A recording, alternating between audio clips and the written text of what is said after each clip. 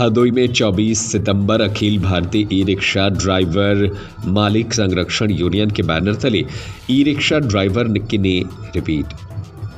हरदोई में 24 सितंबर को अखिल भारतीय ई rickshaw driver मालिक संरक्षण यूनियन के बैनर तले ई रिक्शा ड्राइवर ने यूनियन के राष्ट्रीय अध्यक्ष, अधिवक्ता शिव सेवक गुप्त, जय शिव के नेतृत्व में शहर के कंपनी बाग में बैठक कर ई रिक्शा ड्राइवर के हितों को लेकर विस्तृत चर्चा की गई तथा आरटीओ एवं यातायात पुलिस की मनमानी के चलते उनके विरोध में आक्रोश करते हुए 27 सितंबर शुक्रवार को एक बजे कंपनी बाग में एकत्रित होकर मुख्यमंत्री को संबोधित ज्ञापन जिलाधिकारी के माध्यम से भेजा गया।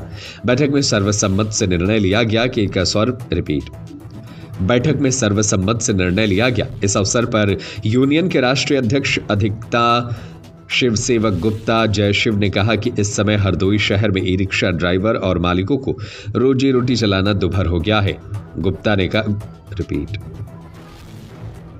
गुप्त ने कहा कि आरटीओ और यातायात पुलिस की मनमानी और तानाशाही के चलते संवैधानिक रिपीट।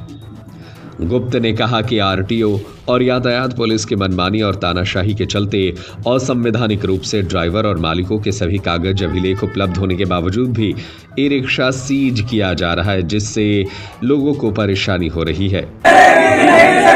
पार्टियों होश में आओ। होश में आओ।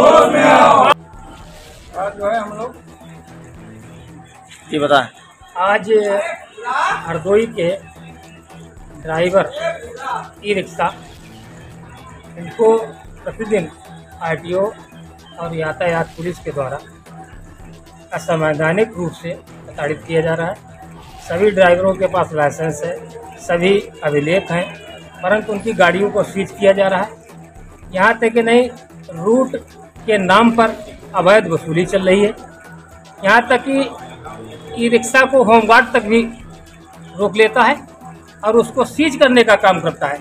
जबकि सीज करने का प्राविधान नहीं है क्योंकि उनके पास कागज़ पहले से ही सभी उपलब्ध है। ज़ीरो जी, ज़ीरो पर ये इनका चालान करते हैं लेकिन सीजीएम के यहाँ कम से कम पाँच छः दिन सीज रहती है गाड़ी पुलिस लाइन में खड़ी रहती है।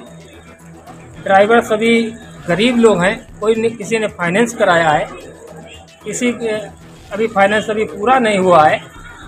रोजी रोटी के लिए लाले हैं और इनकी जो असंवैधानिक प्रक्रिया आर नहीं रोकता है।